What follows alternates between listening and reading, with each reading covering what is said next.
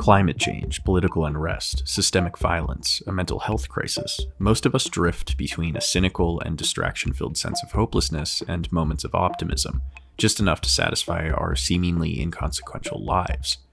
Imprisoned under the Italian fascist state, the famous philosopher Antonio Gramsci penned the highly relevant words pessimism of the intellect, optimism of the will, at the time, Gramsci was referring to his highly critical analysis of hegemonic power under authoritarianism. Nonetheless, Gramsci did not fall to defeatism or disillusionment. Rather, he appeals to the irrational faith that has appeared to motivate humanity for centuries, our ability to navigate in the dark with seemingly little reason to do so.